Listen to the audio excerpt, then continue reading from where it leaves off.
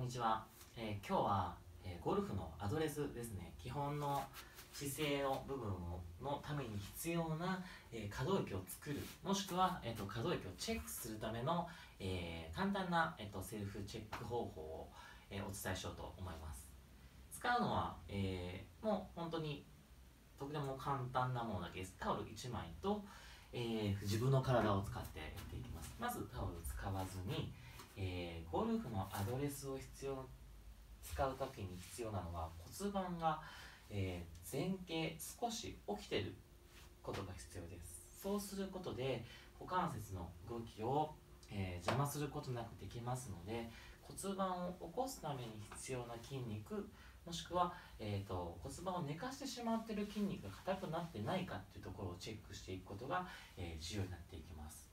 そこで大事になってくるのがこの後ろお尻から後ろの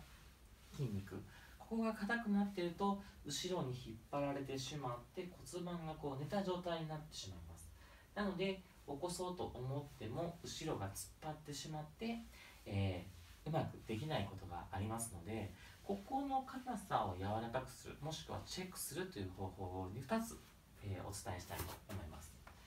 ず1つ目は一番簡単な方法ですね、えーこのまま手を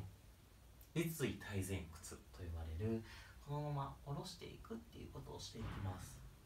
この時に必要になってくるのが寝た状態でやらずに少し起こした状態でやれるのがベストです。なのでしっかりここのもも裏ハムストリングスっていうところを伸ばしていく方法です。もう一つこの後ろを今度はタオルを使った状態で、えー行うやり方をお伝えします。こういう形でタオルを手に持てるようにして足に引っ掛けた状態で足を上に上げていきます。少しかかと側にする方が上がりやすいです。でここの時に90度なれるぐらいが、え望ましいと言われてますので登ら硬い人はここぐらいもしくは膝を曲がってしまうと思います。まずはそれでもいいので少しずつ、